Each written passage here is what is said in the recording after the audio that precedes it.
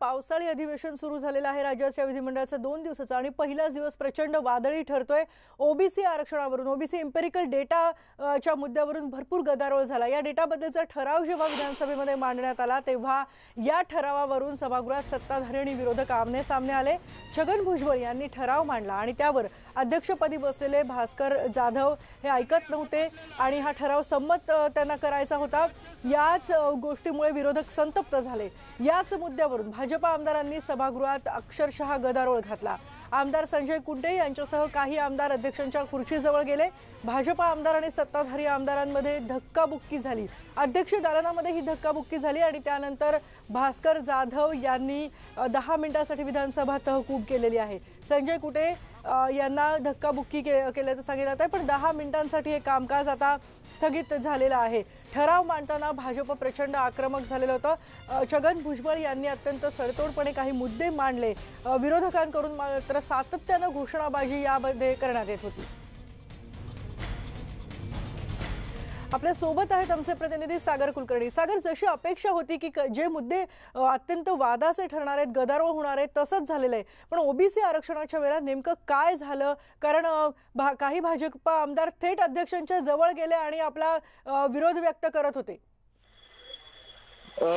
भाजपचे आमदार आणि सत्ताधारी आमदारांच्या ह्याच्यावर आता विधानसभा अध्यक्ष यांच्या दालनामध्ये भास्कर जाधव आणि भाजपाचे आमदार संजय कुटे यांच्यात धक्काबुक्की झाल्याची माहिती होत आहे. सगळ्यात महत्वाची गोष्ट म्हणजे आंदोलन वरनं विषय सुरू झाला आहे. तो म्हणजे ओबीसीच्या संदर्भामध्ये आरक्षणचा जो ठराव होता त्याचा इम्पेरिकल जो आहे तो केंद्र सरकारने द्यावा असा ठराव छगन भुजबळ यांनी मांडला. अर्थात त्याला काही मुद्द्यांवर हरकत. होती. आणि आता ती हरकतचा मुद्दा घेतच भाजप आमदार आक्रमक झाले आणि त्यांनी विधानसभा अध्यक्षाच्या दालनात गेले होते. तिथे भास्कर जाधव हे तत्कालीन अध्यक्षपदाच्या जागेवर बसले होते. तालिकापदी होते. भास्कर जाधव आणि संजय कुटे यांच्यात शाब्दिक चकमक झाली आणि त्याच्यानंतर काही धक्कामुक्की देखील झाली. आता विधिमंडळाच्या पायऱ्यांवर भाजपाचे आमदार जोरदार घोषणाबाजी देत आहेत आणि त्यांच्या विरोधात सरकारच्या विरोधात घोषणाबाजी देऊन निषेध करतायत. कारण की फडणवीस. यांचा दावा आहे की इम्पेरिकल डाटा फक्त देऊन उपयोग नाही आहे त्याच्यामध्ये काही तांत्रिक बदल करावे लागणार आहेत. आणि नेमक्या याच मुद्द्यावरनं राज्य सरकार आणि केंद्र सरकार यांच्याकडे चालढकल सुरू आहे. याच. मुद्द्यावरनं सत- राज्यामध्ये सागर सागर अत्यंत महत्वाची माहिती तू देतोयस. मी एक दोन मिनिटं तुला थांबवते कारण कारण गोपीचंद पडळकर आता काय बोलतायत तिथे ते आपण ऐकूयात. विकास मंत्र्यांनी एकशे सहा अन्वये शासकीय ठराव आणलेला आहे. जो ठराव केंद्र सरकारकडे ते सगळं ढकलण्याचा प्रयत्न करतायत या ठरावामध्ये ते असं म्हणतायत की केंद्र सरकारकडे जात निहाय माहिती आहे परंतु केंद्र सरकार राज्यांना देत नाही. इम्पेरिकल डेटा हा केंद्र सरकारनं द्यावा. अशा पद्धतीचा ठराव त्यांनी सभागृहात आणलाय. या सभागृहावरती आम्ही सभापती महोदयांच्याकडे मागणी केली की आम्हाला चर्चा करायची आहे. परंतु सभापतींनी त्याला परवानगी दिलेली नाही.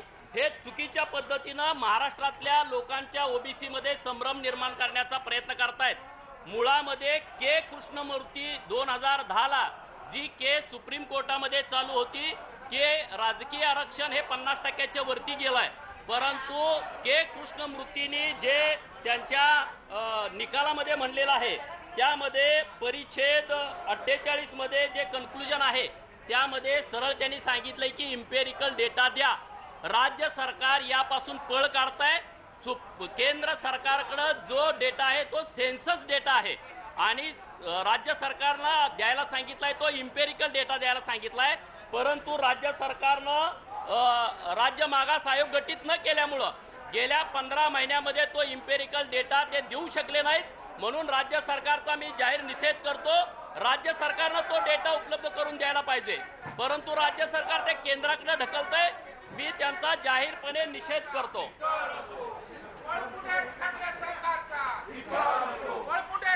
सरकारचा असो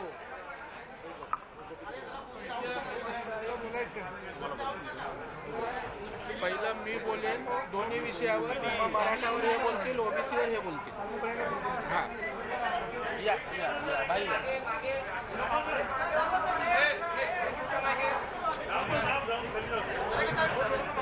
खाली बसतो काय करू?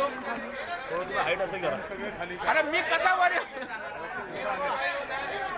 हे खाली करा तर त्यांचा निषेध व्यक्त केलाय पण सभागृहाबाहेर देखील सरकारचा निषेध व्यक्त केला जातोय. आणि विधान परिषदेचे विरोधी पक्षनेते प्रवीण दरेकर आता काय बोलतायत आपण ऐकूया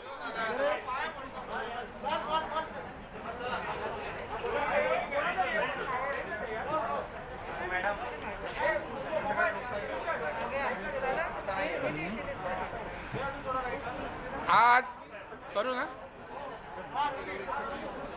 आज तीन महत्त्वाच्या विषयांवर विधान परिषदेच्या सभागृहामध्ये सरकारला धारेवर धरून जाब विचारण्याचं काम या ठिकाणी केलं. स्वप्नील लोणकर नावाच्या एम पी एस सीच्या विद्यार्थ्यानं जी आत्महत्या केली ती आत्महत्या नसून सरकारच्या नाकर्तेपणामुळे झालेला खून आहे. तालिका अध्यक्ष त्यावेळी जे बसले होते त्यांना मारण्याचे प्रयत्न करतात अध्यक्ष महोदय. हे म्हणजे हे अजिबात चालू देणार नाही अध्यक्ष महोदय. त्या बाबतीत काही निर्णय आपण घेणे हे गरजेचं आहे. मी जर या सभागृहाचं कामकाज पंधरा मिनिटासाठी तहकूब करत आहे.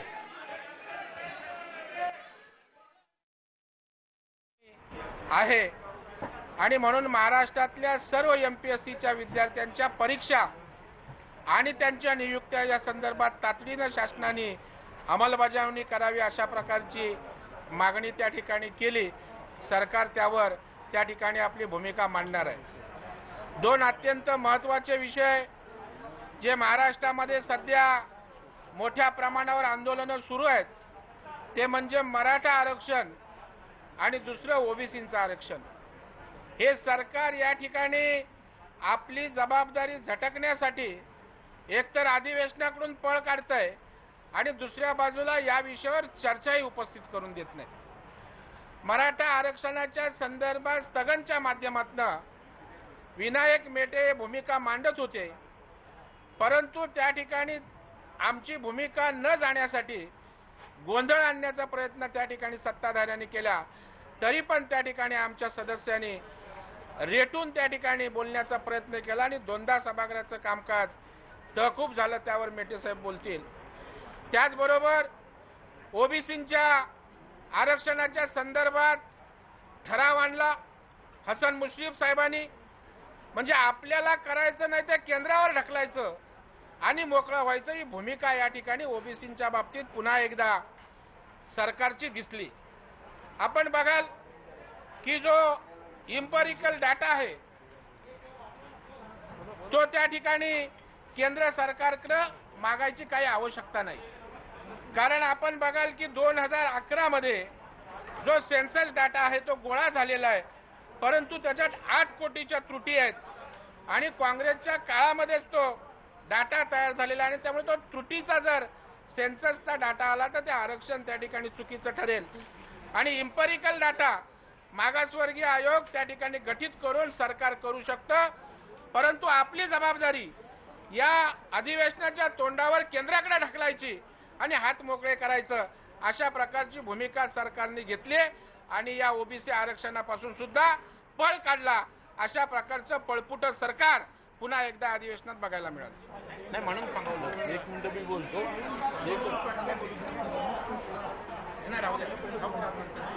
साहेबांचं होतं.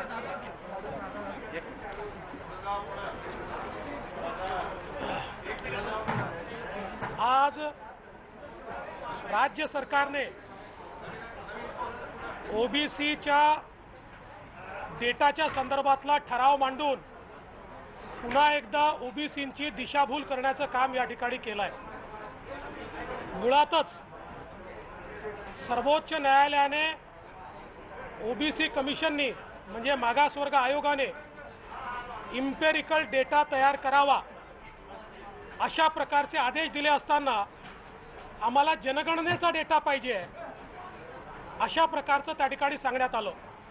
मी सर्वोच्च न्यायालयाचा आदेश देखील वाचून दाखवलेला आहे की ज्याच्यामध्ये त्यांनी बॅकवर्डनेस हे पॉलिटिकल इम्पेरिकल डेटाच्या संदर्भात सांगितलेलं आहे आणि तो डेटा हा केवळ राज्य मागासवर्ग आयोग जमा करू शकतं आणि चार महिन्याच्या काळात करू शकतं. परंतु पंधरा महिने या सरकारने आयोग स्थापन केला नाही. त्याही संदर्भात सर्वोच्च न्यायालयाने काय म्हटलंय हे मी वाचून दाखवलं.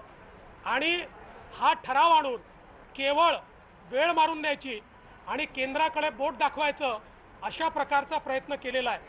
आम्ही ठरावाला पाठिंबा दिला कारण ओबीसी करता जे काही होईल त्याला आमचा पाठिंबा आहेच.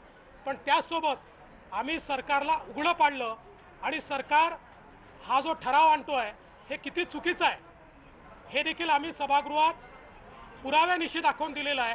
आणि म्हणूनच आता आम्ही बोलू नये आणि सरकारचा बुरखा अजून फाडू नये याकरता सभागृहामध्ये वेगळं वातावरण तयार करण्याचा प्रयत्न चाललेला आहे.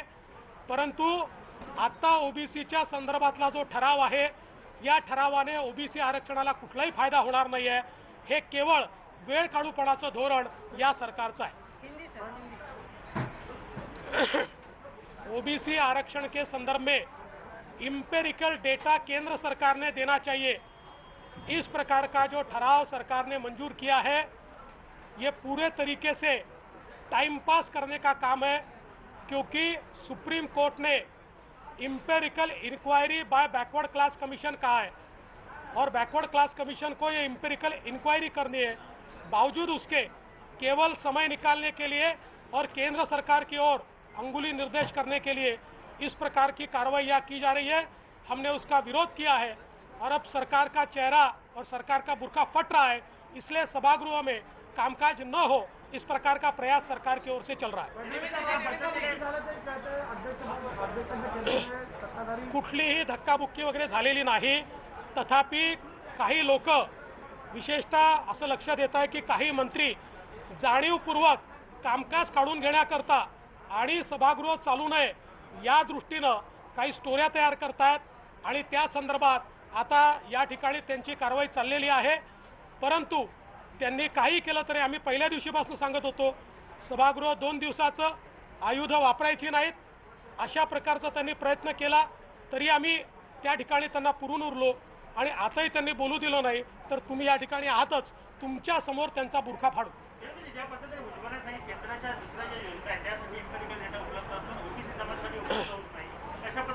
भुजबळ साहेबांनी अतिशय सपशेल खोटं सांगितलं असत्य सांगितलं. मी ते सभागृहात सांगितलं आहे इतर योजनांना एस सी सी सीचा डेटा नाही. त्याला सोशो इकॉनॉमिक डेटा दिला आहे जो केंद्र सरकारने दिलेला आहे.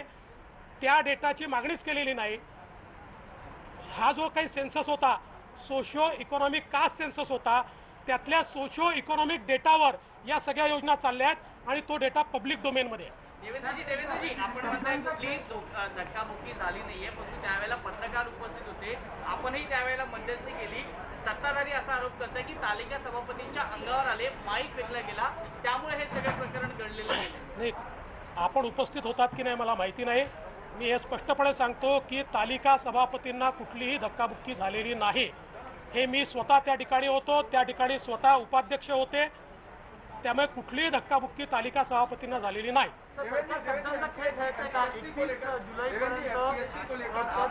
असं म्हटलं गेलं अजूनही सदस्य नोकऱ्या बंद तर तुम्ही हे खरंच आहे आज सरकारने घोषणा काय केली आहे? एकतीस जुलैपर्यंत आम्ही एम पी एस सीची पदं भरू. म्हणजे नोकऱ्यांची नाही एम पी एस सीच्या सदस्यांची पदं भरू. त्याला एकतीस जुलै कशाला पाहिजे? चार दिवसात ती भरता येतात आठ दिवसात ती भरता येतात. आणि अजूनही त्या नोकऱ्या मिळतील की नाही या संदर्भात कुठलीही क्लॅरिटी ही सरकारने आणलेली नाही. देवेंद्र जी एमपीएससी को लेकर के जिस तरीके से का साइट और उसके बाद आपने कहा कि इस मामले में सरकार कुछ नहीं कर रही है सरकार के लिए इक्कीस मई तक हम पद भर देंगे। उसको कैसे देखें? देखिए सरकार ने एमपीएससी में जो कमिटी है उसको खाली रखा और उसके कारण वहाँ पर इंटरव्यू नहीं हुए और स्वप्निल जैसे एक होनहार युवक को आत्महत्या करनी पड़ी। अब हमारी मांगे कम से कम अभी तो पद भरिए और बचे हुए सारे इंटरव्यूज़ तुरंत कंडक्ट करके हमारे युवाओं को नौकरी दीजिए ये हमारी मांग है। सर ओबीसी आरक्षण के लिए आपने काफ़ी चक्का जाम आंदोलन राज्यव्यापी आपने आंदोलन किया। ऐसे में ये बताइएगा कि इस दो दिवसीय अधिवेशन में क्या सोल्यूशन निकलने वाला और क्या नहीं अभी तो आपने देखा ना उसका तो आपके सामने हुआ। है एक मिनिट मराठा आरक्षण। आपण बघतोय सरकार वेळ काढूपणा करण्याचं काम करत आहे ठरावामुळे कोणताही फायदा होणार नाही आणि इम्पेरिकल डेटाबद्दलचा जो सर्वोच्च न्यायालयाचा आदेश आहे तो मी वाचून दाखवला तरी सुद्धा हा ठराव करण्यात आलेला आहे आणि काही मंत्री जाणीवपूर्वक दिशाभूल करतायत. कोणतीही ध- धक्काबुक्की झालेली नाही आहे पण म्हणून मुद्दामच वेळ काढूपणा व्हावा आणि सरकारच्या अधिवेशनाचं दोन दिवसाचं कामकाज चालू नये यासाठी प्रयत्न केले जात आहेत असा थेट आरोप देवेंद्र फडणवीस यांनी केलेला आहे. दोन दिवसाचं हे पावसाळी अधिवेशन राज्य सरकारचं सुरू आहे आणि भरपूर गदारोळ सुरू आहे. बरंच काही या अधिवेशनात होतंय. आपण सगळे अपडेट्स घेणार आहोत पण एका ब्रेक नंतर.